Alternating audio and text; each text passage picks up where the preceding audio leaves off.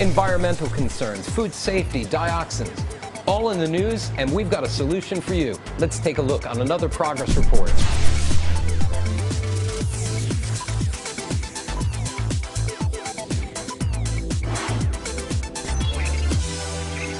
Meet Simon Ellison. He's an application specialist, and we're here at Hemel Hempstead in the United Kingdom talking about POPs, persistent organic pollutants, a really tough analytical challenge and a big environmental concern. Simon, talk about this setup and in particular the Thermo Scientific TSQ Quantum XLS. Well, what we have here in Hemel Hempstead is the uh, TSQ Quantum XLS, and we use this to analyze looking for these persistent organic pollutants. We use the instrumentation we have to look for these persistent organic pollutants using the XLS. We tend to use this instrumentation as a screening purpose, and if a positive result will actually uh, trigger then we, we trigger the next step, which would be uh, naturally confirmation. And there's another piece of uh, hardware called the DFS, which is a, a magnetic sector instrument, which is high resolution, which allows you to get the confirmation accuracy for, for these um, persistent organic pollutants.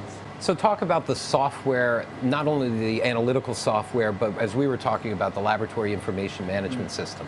Well, each instrument that I've just mentioned there has a particular piece of software which analyzes the, the data, but linked into that we actually have Sample Manager 10, which is a, a LIMS or a laboratory informatics system which allows us to send sequences and data to the instrument prior to analysis.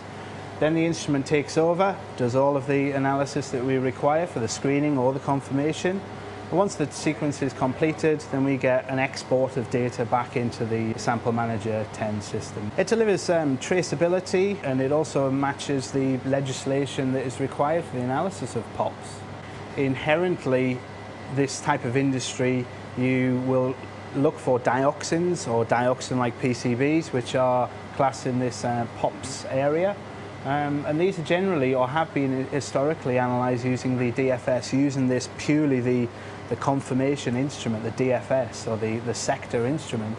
Now we're giving customers the opportunity to to use another option just primarily for the screening and at the point where you're required to confirm or be uh, meet legislation, then use, uh, use the, the DFS instrumentation. So it's giving the options of screening and confirmation with a, a solution across.